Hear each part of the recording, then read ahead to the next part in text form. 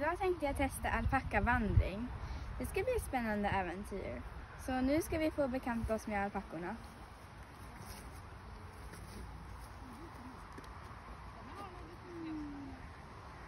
Vi ser om de vill ha lite mat av mig.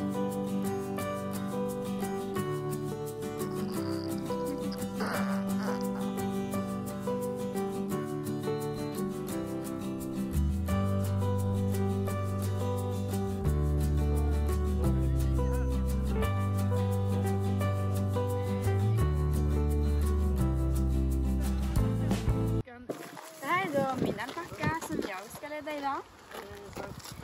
Hon är så gullig.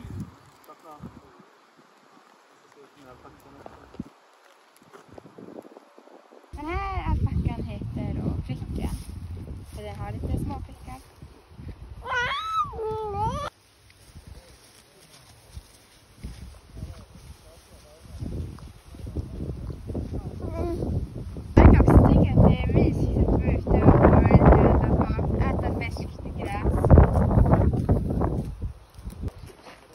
på väg hem igen till stallet med alpackorna.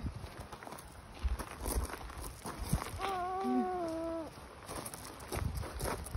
Ja, nu